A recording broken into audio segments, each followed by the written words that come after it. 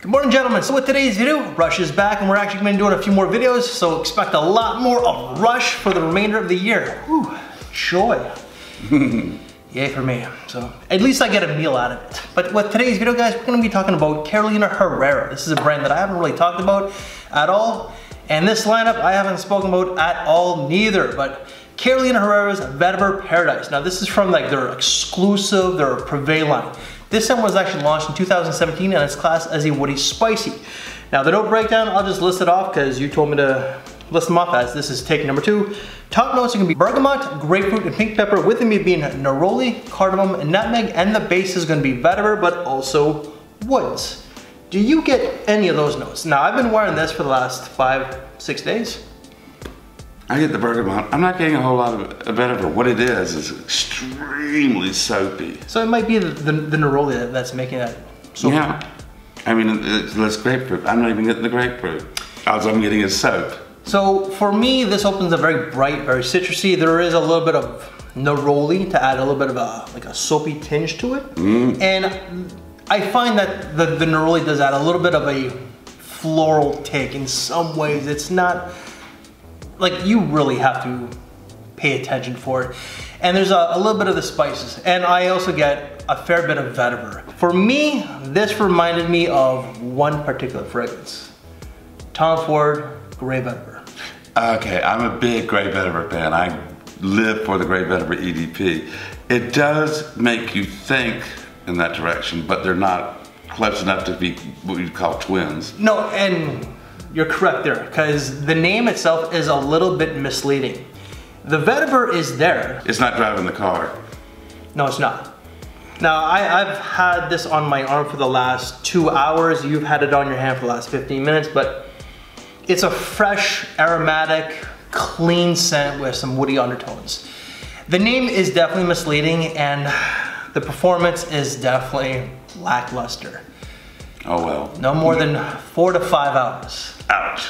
And for what you're spending, it's a luxury line. You're looking to spend about $125 Canadian. So convert that, that's 100 to like $105 USD.